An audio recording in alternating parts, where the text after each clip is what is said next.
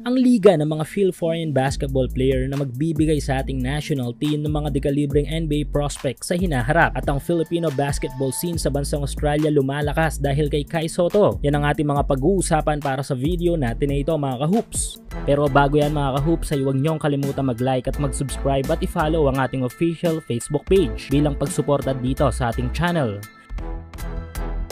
Sa mga lumipas na taon ay aminado tayo na maraming mga nasayang na mga young talents na nasa mataas na level ng kompetisyon ngayon ng basketball sa mundo tulad na lamang ni Jalen Green.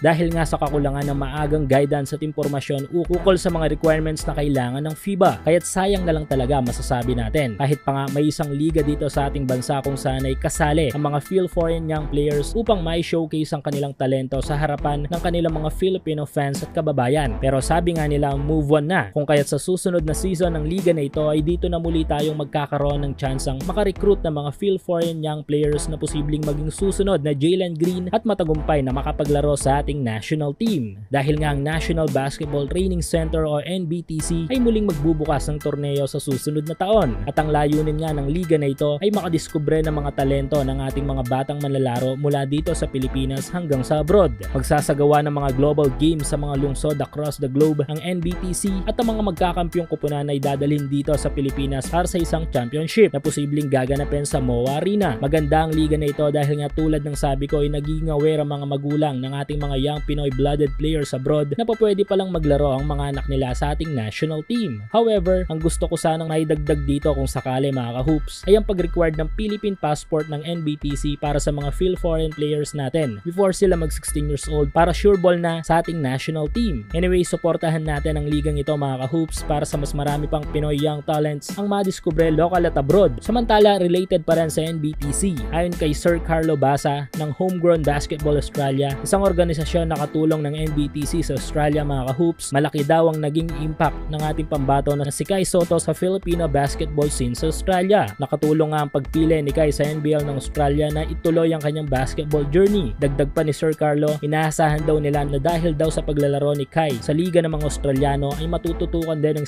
spotlight ang ilan sa mga young Pinoy players sa Australia. Isa lang din yan sa mga dahilan mga kahoops kung bakit tama ang naging desisyon ni Kai na sa NBL Australia maglaro. Una ay swak na swak ang kompetisyon para sa kanyang development. Pangalawa ay nagbigay ito ng malaking boost sa mga young Pinoy bowlers at Filipino community sa Australia. Kung kaya't sana ay walang sawa at paulit-ulit na suporta ang ibigay natin sa ating pambato especially sa mga magiging laban nito sa NBL sa Nobyembre. Pangit man o magandang performance ay wag magbago o mawala ang suporta natin kay Kai mga kahoops.